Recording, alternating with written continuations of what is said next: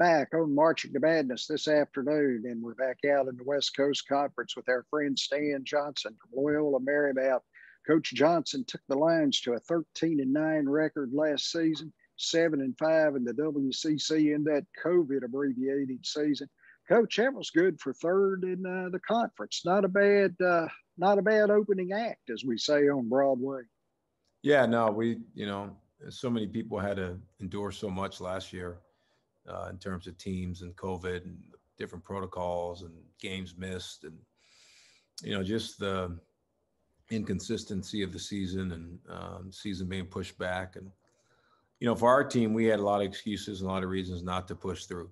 Uh, it's hard enough when you hire a new coach and you got to learn everything differently and then you add a, a pandemic that we still really haven't gotten through on top of that I was really proud of um, what we were able to accomplish in some tough circumstances and uh, happy with where we're at and where we finish. But, you know, we're not satisfied. And, um, you know, we're hoping to, to add to, to what we did last year. And, you know, I've been telling our guys, we got to multiply and uh, we're looking forward to that. Yeah, you know, looking at that scene and the scene in college basketball, you know, we went from uh, the, the pandemic back a year over a year ago shutting things down to the continued racial issues and racial unrest throughout the country. Then the transfer portal now the nil just talk about the perseverance of the game. And then maybe uh, your lions as as that was a nice job last year. Yeah you know i i think um, you know there's been a lot coming at us you know um, in the world uh, in college basketball, and you know for our program. Um, but you know, things are always evolving, and uh, what we're seeing in college basketball, the game's evolving, and uh, this is not the first time they've implemented new things, and it's not going to be the last. And you know, I said it last year: the people who can adapt, um, the people who can change course and, and not lose enthusiasm and you know, those are the coaches, the players, the programs that are, are going to do well.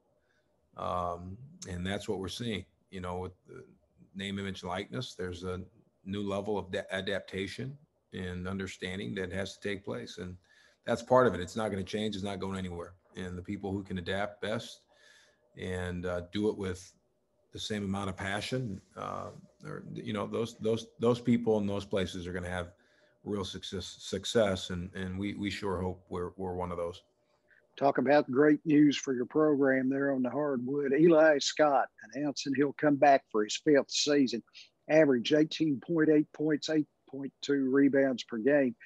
Talk about his presence. What what does this mean for you guys on and off the court? Well you know off the court you know, we had a, the, the chance to keep a, a, a great person in our program. Mm-hmm. And he's a great kid.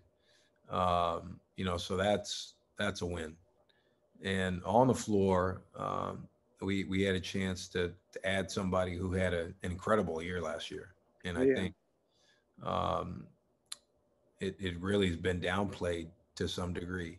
You know, in in, in league, I, I think he led the league in scoring and rebounding uh, over 20 points and maybe close to 10 rebounds. So he's a guy that can do a lot. Um, you know, he kind of stirs uh, everything us up for us. Um, and he, he kind of makes it go. You know, the, the thing about Eli that I love is he's continuing to improve. And he made a big decision to come back uh, because he knew there were some things in his game that needed to improve. And most importantly, um, he felt like there was some unfinished business. And I'm, you know, I'm proud of the the decision he made to be back. Yeah, he was first team all uh, West Coast Conference. Uh, when you talk about unfinished business, those guys, you know, you're going to have a pretty veteran group. It seems like they might, uh, you know, be able to put Gonzaga already in the crosshairs, you know, because belief is what is the is to me the thing that kick starts everything in any sport. Yeah, you know, for us, we just, you know, we we talk about it all the time. You know, in our program, uh, every game's a big game because it's the next game, mm-hmm. and you know, we don't get really caught up on who's doing what. We're more concerned about us and and we have a chance to take a great step here. It's not going to happen because we believe that. It's going to happen because we continue to have the right kind of culture, uh, the mm-hmm. right kind of belief, um, and we continue to be a, a, selfless, relentless, connected basketball team.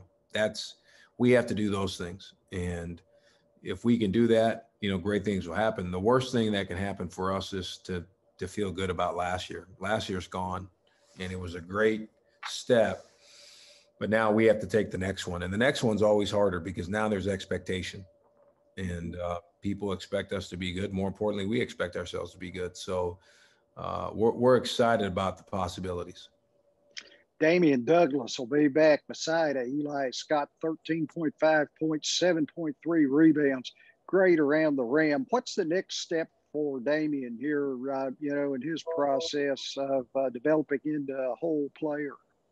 Well, the, the biggest thing for him is to stay healthy. Mm-hmm. Um, you know, he only played in four conference games last year, and and and he was out. I mean, who knows what we could have done with Dameane uh, in our lineup? You know, so uh, we need him healthy, and we're we you know everything is pointing in the right direction there. Uh, but you know, Dameane's growth now is can we can he take care of the ball? and can he make the guys around him better? You know, he's a guy that's going to be able to score. He can really rebound. He's got to take care of the ball. He's got to make people around him better, and he's got to take pride in every night guarding the other team's best player. And if we can get that kind of effort from him and that kind of contribution to go along with the growth in his scoring and rebounding, uh, well, things are going to be good for us, but things will be really, really good for him personally you got a really nice player there as well, the Australian Keli Leaupepe. Hope I got that right. Toughness defines him. He has a love for playing also on the defensive end of the floor. Yeah, he's a tough kid. Keli's a winner. He's a winning person. He's a winning player. Uh, there's so many things that he does that never shows up on a stat sheet. Uh, he can care less if he has one point or 20. And he he makes winning plays and mm-hmm. he can change the game with his physicality and his motor.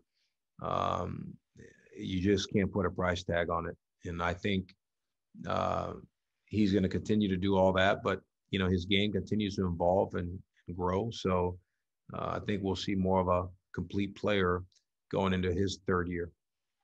Joe Quintana and Jaylin Anderson there on the perimeter for you, three point shooters. Quintana made 39. He shot 43% from the field. Now, that three point game in general, you're looking to take the next step with it as well. Is that correct? Yeah. You know, we, we really are. And Joe is, is one of the best shooters in the country, mm-hmm. you know, best shooters in our league. Um, and I, I think with the addition of some of the new guys and, and having the old guys back, you know, there should be more opportunities for him to, to, to get loose. And I think we have more guys now with playmaking ability and, and with you know, especially off the dribble where they can um, create numbers. And, and now he's in driving kick situations where he's catching and shooting, which that's when he's at his very best. So I think, you know, I, his numbers from a shooting percentage will, will continue to go up. Coach, I, you know, in studying your basketball team, uh, I'm, I'm under the uh, assumption that the biggest thing for you to take an, another step would be cleaner ball handling, right? It was a, it was turnover factors might have hurt you in a lot of the close games that you lost. Yeah, I mean, we we just we we led the league in turnovers. Mm-hmm. You know, um, I tell our team all the time, you know, one one one possession can determine a game, and yeah. and, and one game can determine a season. And imagine if we can get a few of those back. Shoot, maybe we're sitting here at 16 or 17 or 18, and and maybe we were we would have been a tournament team. Sure. if you could just fix that, but you know, bringing key guys in like Cam Shelton, who mm-hmm. comes to us from uh, Northern Arizona, a guy who averaged 20 and points a game, and uh, you know, really did a great job to take care of the ball. He's a high level player. Uh, he's going to help us. I think another year of Jaylin understanding what college basketball is about. Um, he's going to be better. You know, again, Joe going through a whole season being healthy will be better um, bringing in Kwane Marble from Wyoming.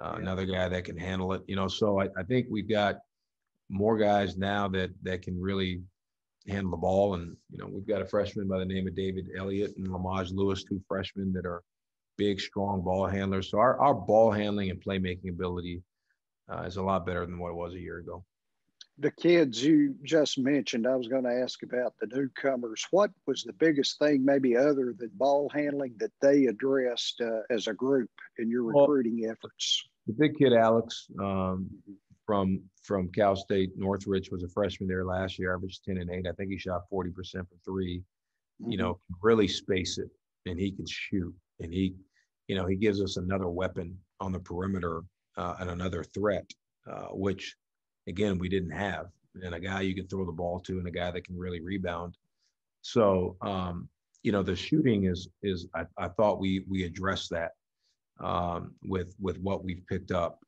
uh, whether it's through our freshmen or our our transfers and guys that can take the load off Eli and some of these guys you know handling the ball and making every play so uh, I think I think um, at least I'm praying our our turnovers go down and our shooting goes up and our rebounding stays the same, if not better. Uh, if we can do that, you know, we'll be in some games. On the turnover piece, how do you uh, kind of dissect that in general? Is that something where it's more mental than it is maybe a uh, fundamental approach to players? Yeah. You know, I, I, went through all our, I don't know how many hundreds of turnovers this year and, and categorized them you know, 60% of those turnovers come from simple, you know, catching and, and passing, mm-hmm. you know, which goes in the fundamentals. Yeah.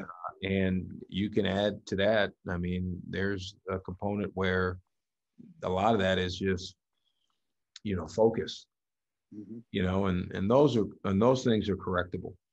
And, uh, you know, last year when I got here, we really didn't have a summer, you know, because of the pandemic and, you know, we've had a good eight weeks um, in the summer, and uh, there was a huge emphasis on those on those things, and that that's where we got to improve and get better. When those kids came together in the summer, uh, you know, and and it seemed like a sense of normalcy. What emotions did you see? Maybe not only from them, but your coaching staff. Well, I think you know being able to just compete and, and be together. You know, our whole team is, is fully vaccinated, but, you know, being able to take the mask Excellent. down and, you know, show, show our faces and, and see each other. And that felt as normal as anything, yeah. you know? So that was um, like an energy boost. Mm-hmm. And, uh, you know, we, obviously we got to continue to protect each other and do our part but um, you know that was the biggest part of being together was being able to to compete and play basketball like how you're supposed to do it. Your first trip through the WCC, what were some of your takeaways about the conference? I mean, we know I think it's getting better every year, but just some things maybe you saw that maybe the average fan or the average writer would not. Well, I I mean, I think it it it more or less confirmed what I believe coming in that our league is really really good, yeah. and in a lot of regards, it's very underrated. You know, you've got some elite coaches, you have some really good players, and you have some great places, some great venues. And this is a really good league. I yeah. mean, excellent league. And I'll put it up with most leagues in the country uh, from top to bottom, you know, uh, from how it's coached to the type of players that are that are in the league. And, um, you know, so it's the, the, the margin in this league, though, is very small in terms of winning and losing. And sure most teams are, you know, right there with each other. And again, that's why it goes back to the little things, the turnovers, and one possession can, you know, it's the difference between third, second place, and six, seven, eight at times. Mm-hmm. Last thing, Coach, uh, name, image, and likeness. You know, I, am really glad the kids are getting a piece of the pie. You're I think it's long overdue. It's been long overdue by many, many years. I'm just curious how this might be a different factor, like at a Loyola Marymount, where, you know, basketball is, I guess, the sport because there is no football. Do you think the dynamic's different? Well, I, I definitely think there are some advantages and they can certainly help. Um, who I'm not right now on the subject is an expert. Right. You know, and um, what we're doing is kind of analyzing it and seeing uh, what's what. Uh, but, you know, I, I do believe in our place we're going to have opportunities and the kids will have some opportunities. Um, but, you know, I, I think part of it when it first happened, I think everybody thought, yeah, you know, the money's going to be rolling in. And, mm-hmm. you know, there's a lot of professional athletes that don't get endorsed. Sure. And I understand the money sometimes a little different, but um, our kids are going to have to find their way in their niche uh, uh, with this. Uh, but I do think being in LA, I do think being at a basketball school, uh, those are two things that could be very helpful as we learn more and, and, and grow that part of, of college basketball for our program. Coach Stan Johnson at Loyola Marymount in the West Coast Conference, a team that's ascending up that ladder. Coach, it's always a pleasure to have you back on here. I uh, hope we can do it again, uh, maybe sometime here during the season. Awesome. Would love to. Appreciate you having yeah. me. Oh, yeah. It's always a pleasure. Good luck to you. Thanks, my brother. Thank you, brother.